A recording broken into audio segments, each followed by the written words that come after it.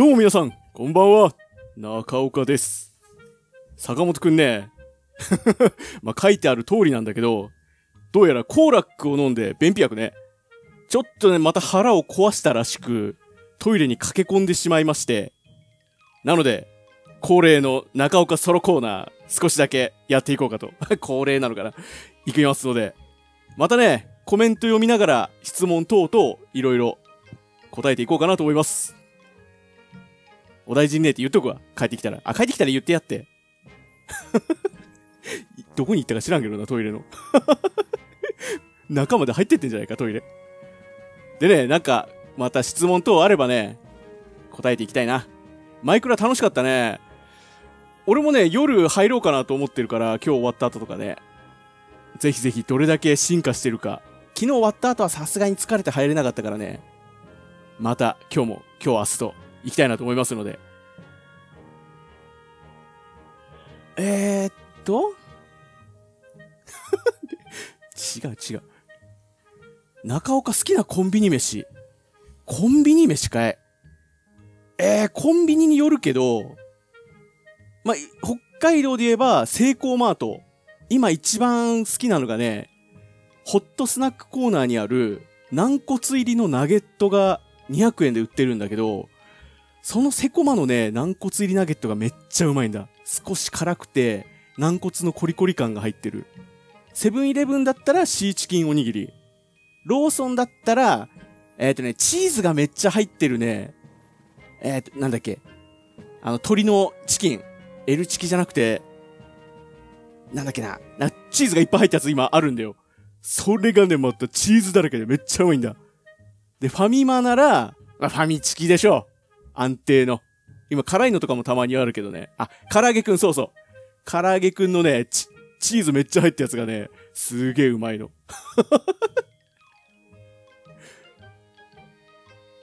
ファミチキくだ、あファミチキね、いいよね。おすすめのアイス教えてくれ。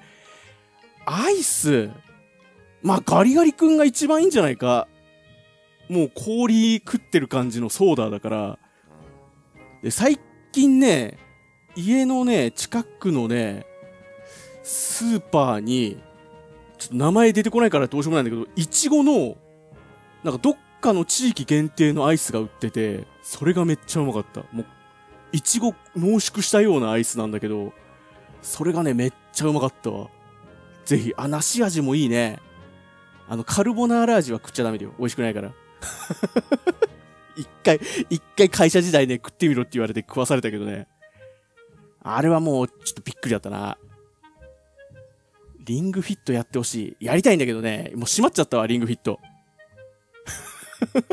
ごめんね。閉まっちゃってね。いや、やろうと思って出してたんだけど、ずっと太陽光に当ててて、こう劣化するのが嫌だなと思って、ちょっと箱にしまってね、その後タンスにまで行っちゃって、もうしばらく出てこないかな。しまわないでって言われてもね、しょうがないんだよ。コンポタージュは俺は好きだったよ。コンポタージュ飲んでる感じしたから。今何キロ？今、えー、っとね、80、何キロだね？うん。そんぐらいかな？まあ少しほっといてくれよ。えー、ブラッドボーンやったことある？やってますよ、ブラッドボーンも。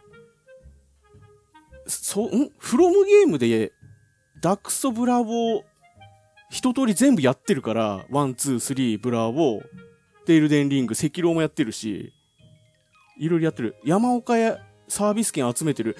俺、山岡屋のサービス券で T シャツもらって、かつ、今、手元に80枚ぐらいあるよ。古いやつも含めな。前までは、サービス券って1年間しか聞かなかったんだけど、ちょっと前、ほんと半年ぐらい前かな。期間関係なくなりましたよって言われて、古いやつも取っといてよかったなっていうことで、だから T シャツもう1枚もらおうと思えばもらえるんよ。50枚で T シャツ1枚もらえるからね、山岡屋の。その年によってデザインが変わるからね、いいデザインの時に欲しいなと。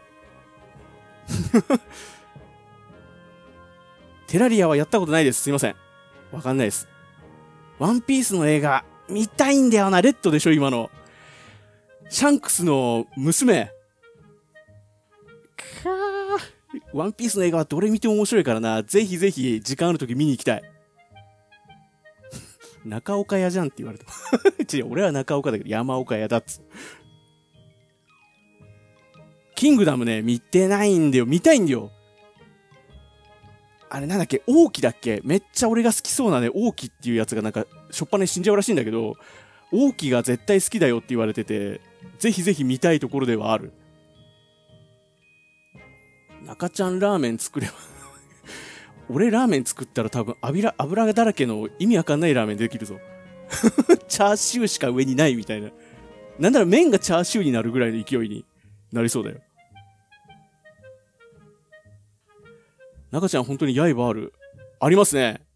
上と、左右の上とね、下4箇所ぐらいに。俺、歯並び悪い、良くないんだよ。昔、銀歯とかも入れてたんだけどね、どうも、親知らずがね、上下、左右、ん？違うな。四隅に4本親知らずが横向きに生えてるというかわいそうな人間で、これが伸びてくると、全身麻酔で取らなきゃダメなんじゃないかって言われるぐらい、親知らずが横向きで生えてると。で、まだ完全に出てきてないからいいんだけど、と来たらきついんじゃないか。4箇所取って顔パンパンに腫れてたろあの、パンパ、アンパンマンみたいになっちまうぞ、俺。顔。顎は多分でかいんだよ。でっかいんだが、横向きだっていうね。もうパンパンだよ。その通りなんだよ。お、いる？横向き向いてる人。虫歯そう。虫歯もね、気をつけないと。歯医者行きたいんだよ。やっぱ歯茎切らないとダメかい。かー。取るときもなんかでかいペンチでグリグリ引っ張りながら取るんでしょ？絶対起きてたら失神するよな、俺。血とか苦手だからね。あー、やっぱり全部抜くのおすすめ。ちまちまやったらダメかい。いやー、一週間ぐらい放送出れなくなるな、俺抜いたら。その時はよろしくお願いしますって言っときますわ。そう、気絶させてほしい。わかる。もうなんなら、抜いた衝撃で気絶してくんねえかなって思うんだよな。であればな、いいからな。あ、全身麻酔一発。確かに。いいよね。えー、飲みみたいのでグイグイやられた。おいおい、大工じゃねえんだからよ。金槌でガンガンやるんだろ。あ、抜いてよかった。いや、抜くべきか、早めに。保険適用、マジか。行った方がいいね。気がついたら終わってる方がいい。確かに。